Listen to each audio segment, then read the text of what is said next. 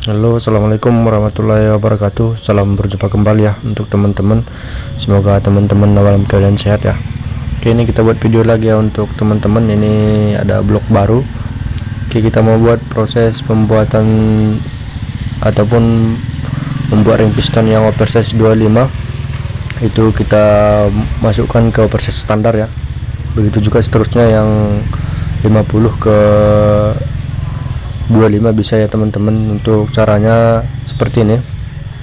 Oke ini kita buat untuk piston standar ya.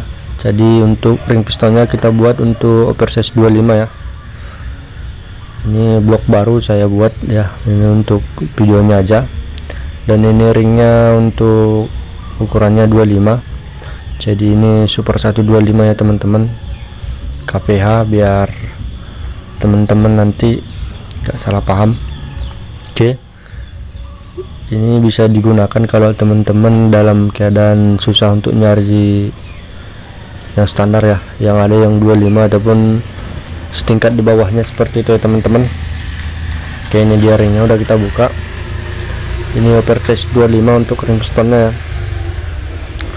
Jadi kita mau buat ke ukuran standar kita masukkan jadi pembuatannya gampang ya teman-teman. Teman-teman dengan ngikis, ngikis pinggirannya aja untuk menyesuaikan ke proses standar.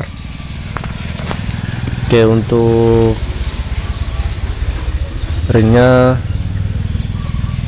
ini kita mulai dari ring yang bilas dulu ya ataupun ring yang hitam yang paling nomor 2 oke kita coba tes dulu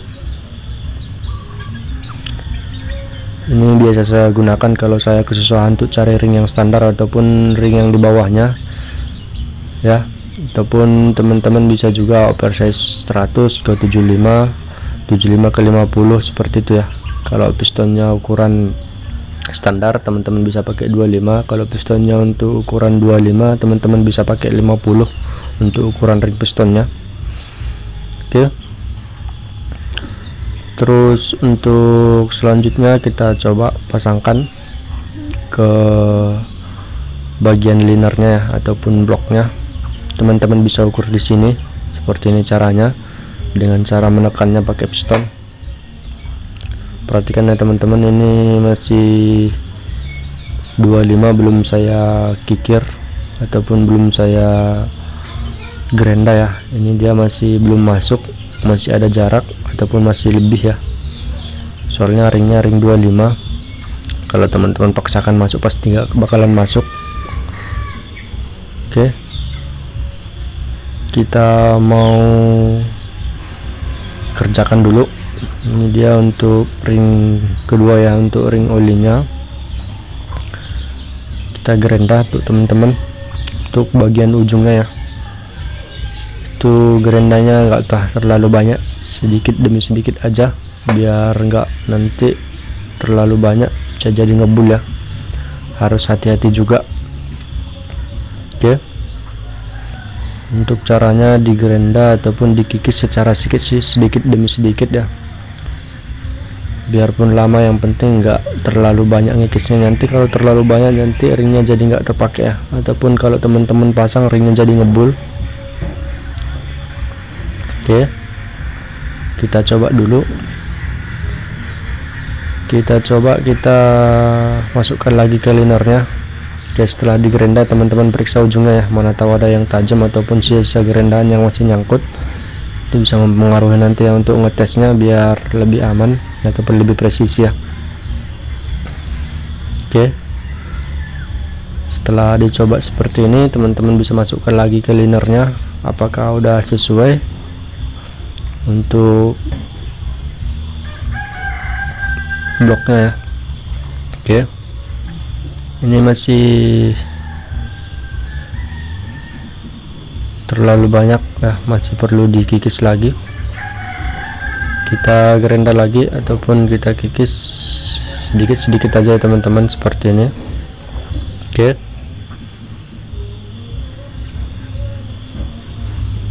setelah dikikis teman-teman periksa lagi ujungnya ya. Apakah masih ada yang tajam ataupun yang masih mengganjel sisa-sisa gerendaannya. Oke. Ini dia kita tes lagi. Oke kita ulang-ulangi seperti itu sampai ringnya bisa rapat ataupun teman-teman bisa sesuaikan jaraknya berapa mili ya. Oke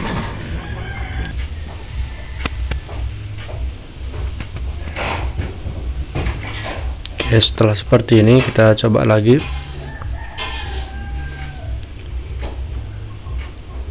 Kita coba lagi masukkan ke linernya untuk pemasangannya. Oke.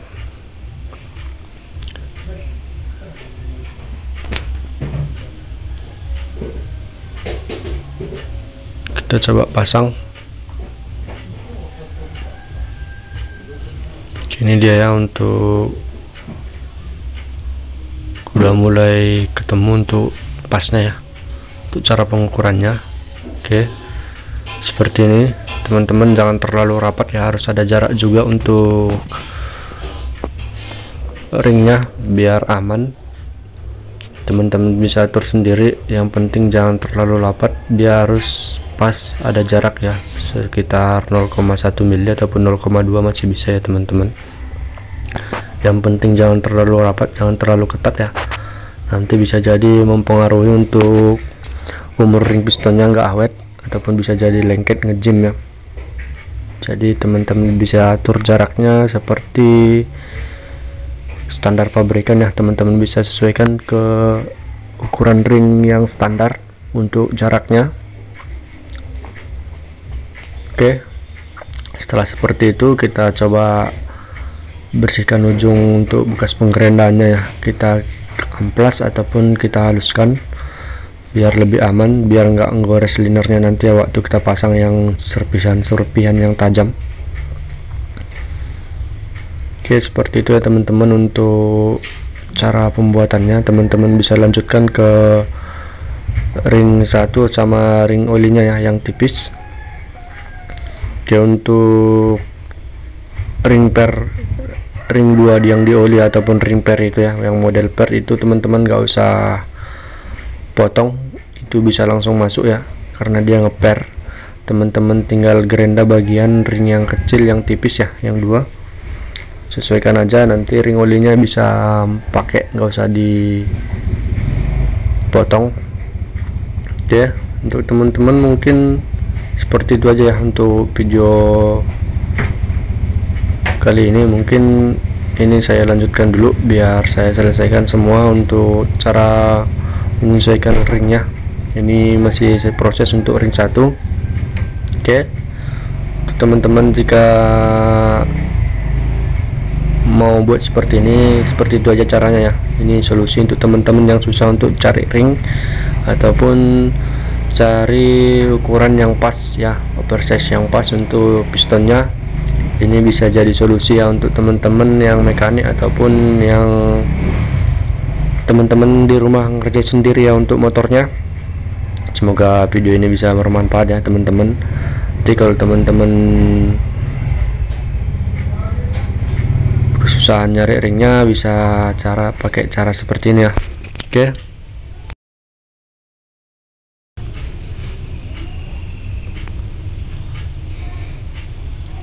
Oke ini udah saya potong semua ya. Udah saya gerenda udah saya amplas juga biar halus.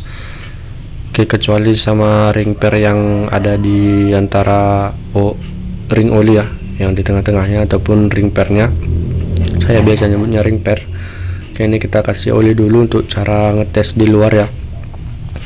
Ini udah saya potong semua udah saya haluskan. Teman-teman kita masukkan dulu ke bloknya ataupun linernya kita tes dengan cara dikasih oli dulu ya biar linernya aman gak gores. Oke. Ini untuk cara pemasangannya kita tes dulu.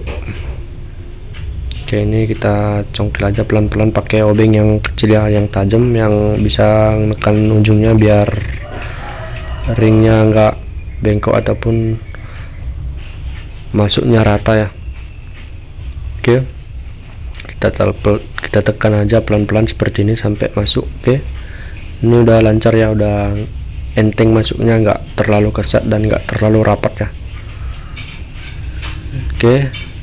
Seperti ini untuk teman-teman yang untuk cara proses pemotongan ring 25 yang masuk ke standar ya.